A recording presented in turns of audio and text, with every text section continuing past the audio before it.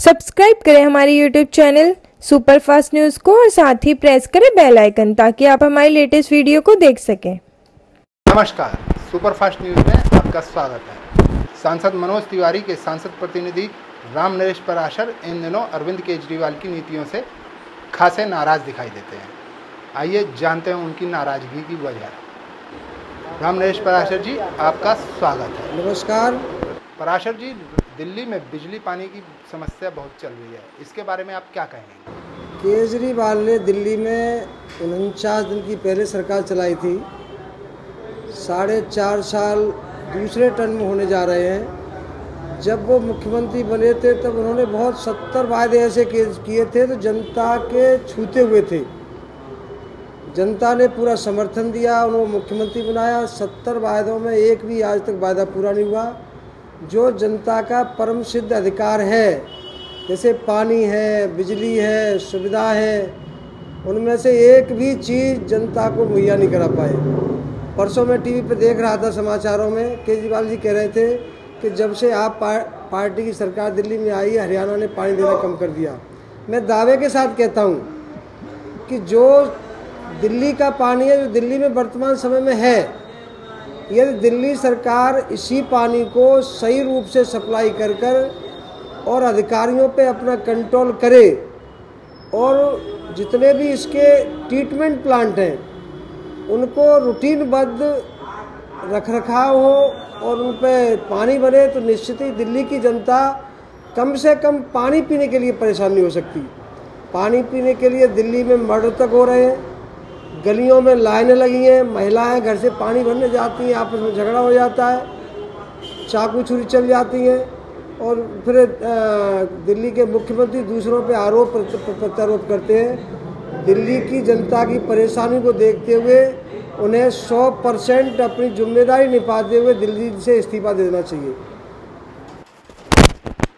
पराशर जी, दिल्ली में हो रही बिजली कटौती के बारे में आप क्या कहेंगे?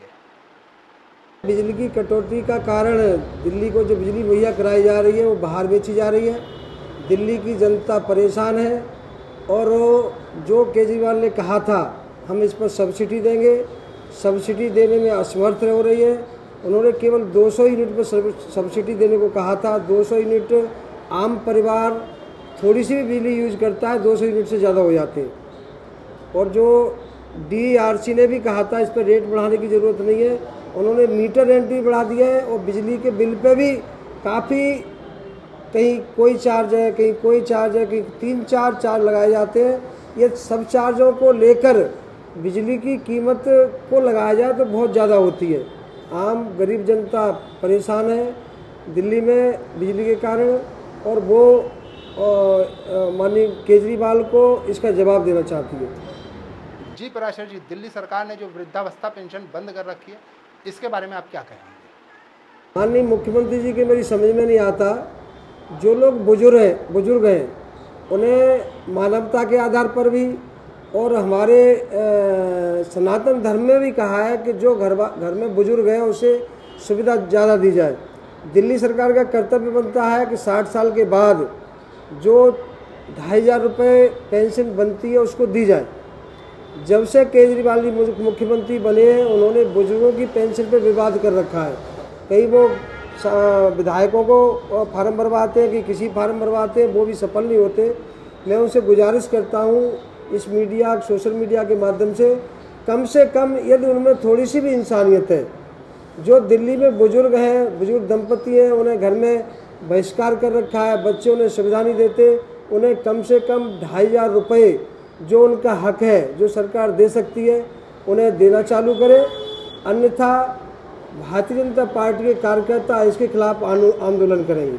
पराशर जी जो दिल्ली सरकार की शिक्षा नीति है उसके बारे में क्या कहेंगे? जैसे नौवीं और दसवीं के छात्रों को जो फेल हो गए हैं उनको सर, सरकारी स्कूलों में एडमिशन नहीं दिया जा रहा है इसके बारे में आप क्या कहेंगे?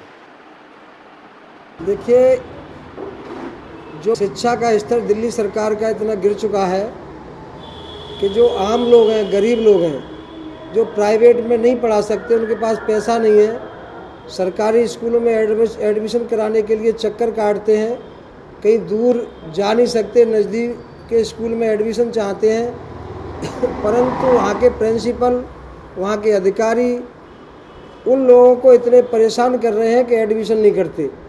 धक्का खा खा के, खा खा के बच्चे घर बैठ जाते हैं, उनकी बच्चों की पढ़ाई मारी जा रही है और स्कूलों में एक एक कक्षा में लगभग सौ से ऊपर बच्चे हैं। पढ़ाई का स्तर टीचर 45 मिनट मिलते हैं 45 मिनट में टीचर चाहें कि मैं सौ बच्चों का पूरा जो मैंने होमवर्क दे रखा है, वो जाँच लूँ या दे दूँ, यह संभव होता है। मैं मीडिया के माध्यम से केजरीवाल जी को निवेदन करना चाहता हूँ कि स्कूलों में स्पेस बढ़ाया जाए, टीचरों की भर्ती की जाए, नए कमरे बनाए जाए, नए स्कूलों का निर्माण किया जाए। तभी दिल्ली की शिक्षा का सुधार हो सकता है अन्यथा नहीं हो सकता। पराशर जी इन दिनों दिल्ली सरकार में एक चर्चा चल रही है कि दिल्ली सरकार महिलाओं को मेट्रो और बसों में फ्री यात्रा का सुविधा देने जा रही है। इसके बारे में आप क्या कहेंगे? देखिए चुनाव नज़दीक है। ये चुनावी सबूबा छोड़ा है सीएम साहब ने। ये कुछ भी नहीं कर पाएँगे और ये हो ही नहीं सकता जी। जनता समझदार है। जनता फ्री के चक्कर में नहीं पड़ती। अभी बहत्तर हज़ार रुपये का कांग्रेस ने चुनावी वो छोड़ा था, उसे नकार दिया, मोदी जी को अपनाया है। दिल्ली की जनता, देश की जनता विकास चाहती है, और सुविधा चाहती है, शिक्षा चाहती है, स्वास्थ्य चाहती है। वो इसके चक्कर में आने वाली नहीं। जी पराशर जी, आपका धन्यवाद। हम फिर मिलेंगे। नमस्कार।